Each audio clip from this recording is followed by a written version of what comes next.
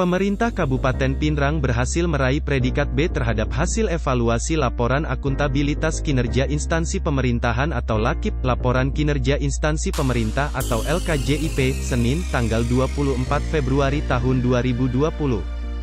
Pemerintah Kabupaten Pinrang meraih peringkat tertinggi di Sulsel bersama dengan enam kabupaten lain dalam acara Sakip Award 2019 yang berlangsung di Hotel Tentrem Yogyakarta. Bersama Kabupaten Pinrang, ada Kabupaten Bone, Luwu Timur, Maros, Bulukumba, Bantaeng dan Kabupaten Goa.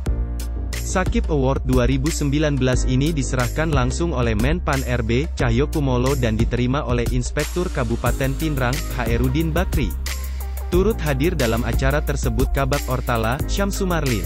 Kabak Ortala, Syamsumarlin melalui pesan singkatnya sangat bersyukur atas pencapaian ini. Syamsu Marlin juga berkomitmen untuk meningkatkan capaian yang telah diraih. Lakip adalah laporan akuntabilitas kinerja instansi pemerintahan. Lakip merupakan produk akhir sakit yang menggambarkan kinerja yang dicapai oleh suatu instansi pemerintah atas pelaksanaan program dan kegiatan yang dibiayai APBN APBD. Sakip sendiri adalah sistem akuntabilitas kinerja instansi pemerintahan, di mana sistem ini merupakan integrasi dari sistem perencanaan, sistem penganggaran dan sistem pelaporan kinerja, yang selaras dengan pelaksanaan sistem akuntabilitas keuangan. Sedangkan laporan kinerja instansi pemerintah adalah wujud pertanggungjawaban pejabat publik kepada masyarakat tentang kinerja lembaga pemerintah selama satu tahun anggaran. Secara lengkap memuat laporan yang membandingkan perencanaan dan hasil.